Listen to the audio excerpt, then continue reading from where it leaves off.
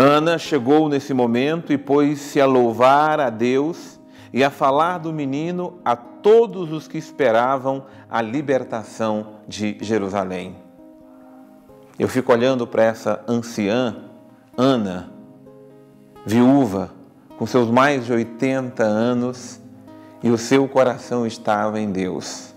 O seu coração esperava em Deus.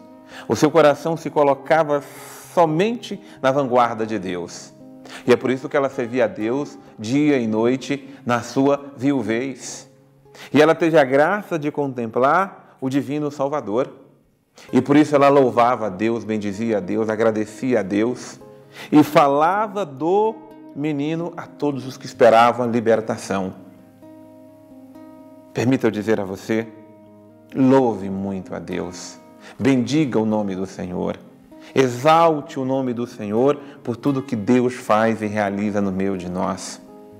Eu sei que você possa ter alguns ou até muitos motivos para reclamar, para dizer meu ano não foi bom, tanta coisa negativa aconteceu, a situação não está fácil.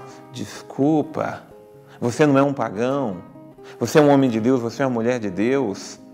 Reconheça a manifestação de Deus, reconheça que Deus está no meio de nós, ainda que nós muitas vezes não estejamos nele, mas ele não deixa de ser Deus e Pai para cada um de nós. Por isso, movido por esse espírito que moveu Ana, também louvemos a Deus.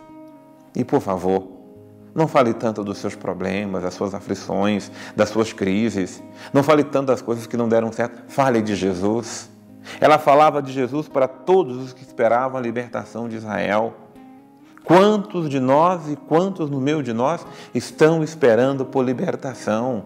Libertação da opressão, libertação das situações de escravidão do tempo presente, libertação das situações que não são resolvidas da vida. Falemos de Jesus, apresentemos Jesus, levemos Jesus a esses corações, porque nossas discussões, nossas conversas, se tornam discussões e conversas muito tolas, muitas vezes, que não levam a nada, muito pelo contrário, criam um ar de pessimismo, de negativismo, de divisão, de discórdia, porque estamos levando aos outros, muitas vezes, o espírito mundano e não estamos levando Jesus.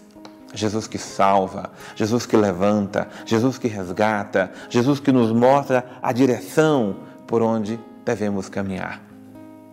Falemos de Jesus, apresentemos Jesus a nós, a nossa casa, a nossa família, aos nossos amigos, colegas de trabalho, ao mundo onde nós estamos.